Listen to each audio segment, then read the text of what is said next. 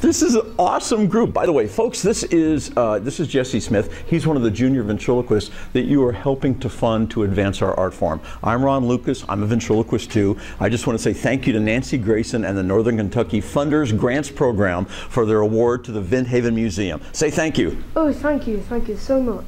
Oh, thank you very much. That was me talking for Jesse.